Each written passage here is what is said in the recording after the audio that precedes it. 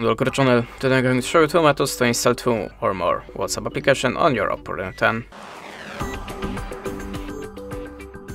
So the first one, open the settings, the Play Store, look for the for search bar and tab, uh, and look for the WhatsApp app, but not for the normal WhatsApp app, look for the WhatsApp Business, install that one, and by this quick way we have uh, two WhatsApp applications from the official source.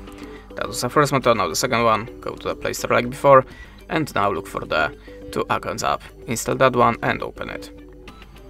Decide that you want to get notifications, agree the terms, and allow permissions. Now just click on the WhatsApp icon and hold press start automatically and now we are creating the next WhatsApp application on this device. That's it. Thanks for the watching, leave us a like or a comment and goodbye.